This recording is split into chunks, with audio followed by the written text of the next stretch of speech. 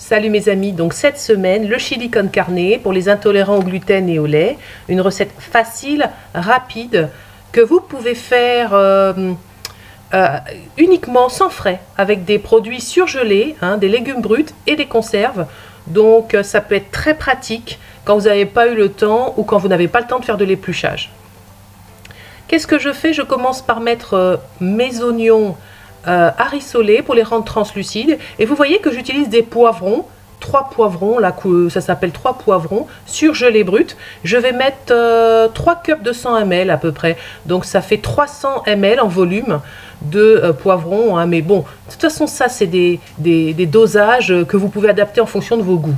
Ensuite, je mets deux gousses d'ail. Vous avez remarqué que j'ai pas mis la gousse d'ail au début avec l'oignon parce que je ne voulais pas la cramer. Hein. Pour garder toute la saveur de l'ail, je préfère la mettre un petit peu après quand il y a déjà un petit peu d'humidité dans ma casserole. Un bon chili, c'est une question d'épices.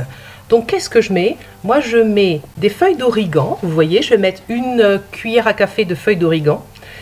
Dans tous les mélanges pour chili, vous trouverez du cumin en poudre, je mets une cuillère à café et demi, et, de la coriandre, hein, de la coriandre moulue. Voilà, ça c'est vraiment avec de la poudre de chili.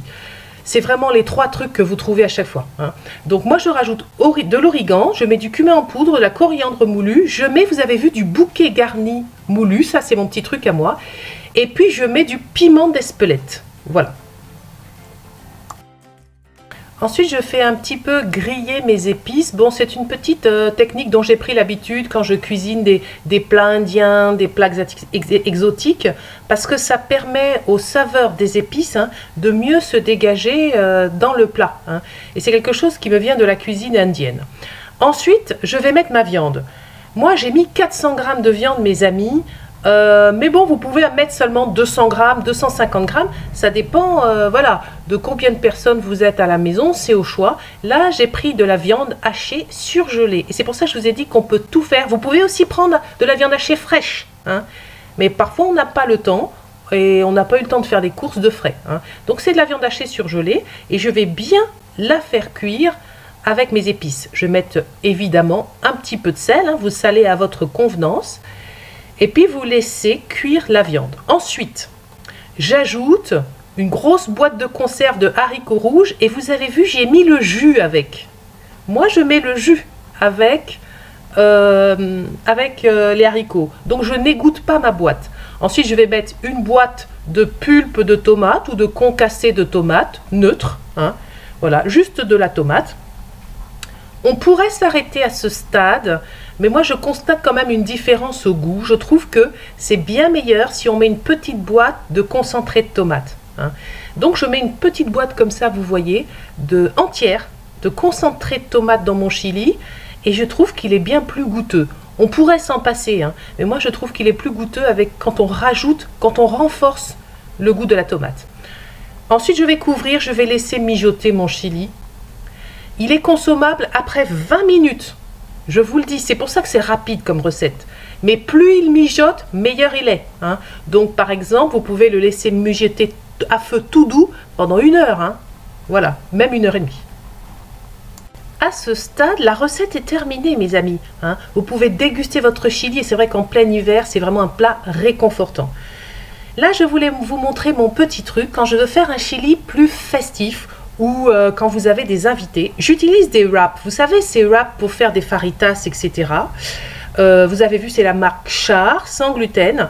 Je vais utiliser des moules Corolle. Je vais délicatement, ne faites pas comme moi sur ce deuxième exemple où j'ai déchiré le, wrap. Bon, ben c'est pas grave, hein, c'est pas parce que je l'ai déchiré, voilà. Euh, donc j'utilise des moules Corolle euh, je vais mettre, pour servir, ça fait, c'est très joli. Je vais passer mes moules au four à 180 degrés. Euh, je fais préchauffer à 180 degrés et ensuite je vais passer mes moules avec les wraps à l'intérieur pendant 5 minutes au four à 180 degrés. Je vais ressortir euh, donc ces, espèces de, de tortillas, voilà, et elles auront durci. Et je vais servir mon chili à l'intérieur. Et je vous assure que c'est vraiment très très très très sympa et que euh, vos invités vont énormément apprécier. Donc c'est un petit truc hein, pour vos réceptions ou tout simplement même pour vous, hein, pour faire un chili plus festif. Voilà, je vais vous montrer ce que ça donne après cuisson. Vous voyez, c'est devenu complètement rigide et on peut servir son chili à l'intérieur. Pour ceux qui sont cassés, en fait, je les mets dans un bol. Vous avez vu comme celui-là, là, voilà, le bol beige. Comme ça, si le truc est déchiré, c'est pas grave, on peut quand même utiliser euh, la corolle de tortilla.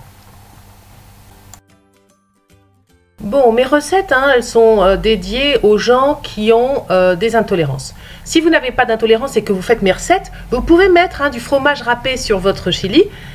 Si vous supportez pas le lait, par contre, moi j'ai un truc, c'est que j'aime bien mettre du maïs. Je trouve que ça se marie à la perfection, que c'est esthétique et que ça se marie à la perfection avec euh, le haricot rouge. Donc moi, au lieu de mettre du fromage râpé, je mets tout simplement du maïs sur mon chili. Le chili, c'est un plat qui est réconfortant, c'est un plat qu'on peut laisser mijoter, qu'on peut remanger le lendemain et qu'on peut congeler aussi, mes amis. Hein.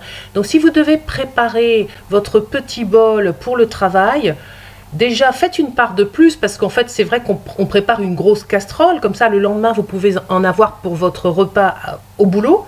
Mais vous pouvez le congeler, ça perd un petit peu sur le plan gustatif, mais pas tant que ça. Hein. C'est un plat qui est pas mal, je trouve, pour emporter au boulot. Ça, c'est la fiche recette que vous voyez à l'écran, comme d'habitude. Hein. Vous, vous trouvez tout dans la boîte de description. Euh, vous avez la liste des ingrédients. Vous pouvez aussi télécharger. Enfin, vous commencez à savoir tout ça. Je vous souhaite une euh, bonne semaine. Euh, si ça vous intéresse et si vous testez cette recette, bon appétit. Salut, à bientôt.